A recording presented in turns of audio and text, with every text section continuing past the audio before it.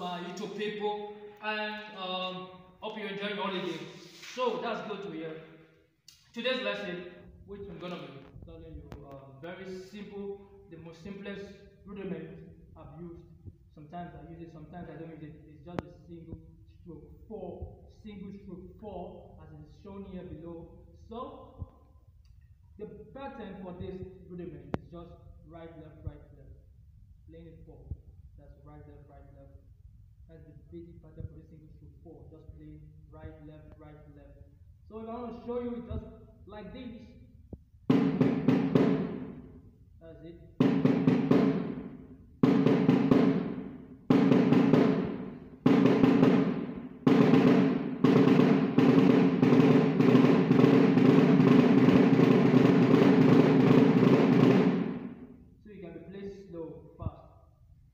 Right, left, right, left, no accent.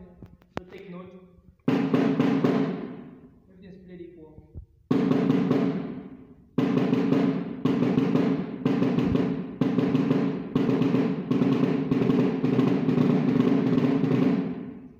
So that's it. Just take your time, practice this slowly, right, left, right, left. It's very simple. And I'll encourage you to practice this five minutes or ten minutes or even four minutes. If you will to do that, you can do that. So take your like I said, practice this slowly, slowly. It can be used on the drums anyhow you want to do it. So just know.